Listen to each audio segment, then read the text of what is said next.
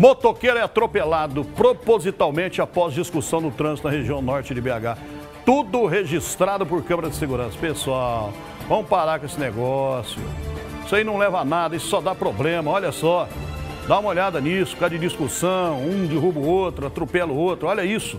Vamos ver. Barriga, pernas e braços machucados. Fabiano ficou assim depois de ser atropelado quando estava na porta de casa no bairro Planalto, em Belo Horizonte.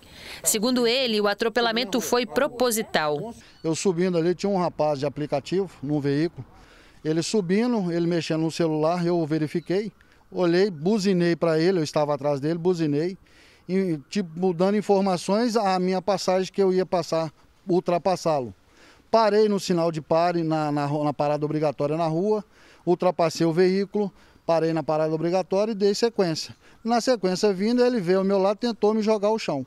Eu falei com ele, oh, meu amigo, o que é que foi? Ele falou assim, meu pai é polícia. Eu falei, então pega a minha placa do meu veículo e passa para o seu pai e manda ele vir atrás de mim, que eu não devo nada a ninguém. Fabiano foi perseguido pelo motorista de aplicativo por aproximadamente um quarteirão e meio. Quando ele diminuiu a velocidade para entrar na garagem de casa, o suspeito acelerou e atropelou a vítima. Depois de ser atingido, o motociclista levanta. O suspeito dá ré e vai embora. Então eu levantei e falei com ele, desce do carro, vamos resolver aqui então. Já que você bateu na minha traseira, você queria me atropelar, já que você está querendo me matar, ele simplesmente jogou o carro em cima de mim, veio na minha direção.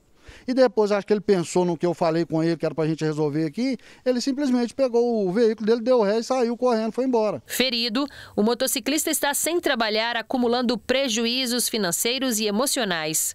Eu uso ela de locomoção para o meu trabalho, para me locomover pela empresa, que a empresa não me paga vale transporte, e também uso para aplicativos de entregas, como motoboy. E faço serviço de motoboy. Estou sem fazer serviço de motoboy, sem trabalhar por esse motivo do acidente. Fabiano registrou um boletim de ocorrência e entregou as imagens para a polícia. Ele sabe o modelo e a cor do veículo do suspeito. O motociclista pede informações que ajudem a localizar o homem que o atropelou. Ele fez isso comigo hoje. Amanhã ele pode fazer com outras pessoas. A moto, eu, graças a Deus, eu estava só. Se eu tivesse com meu filho ou com minha filha na garupa, seriam duas vítimas.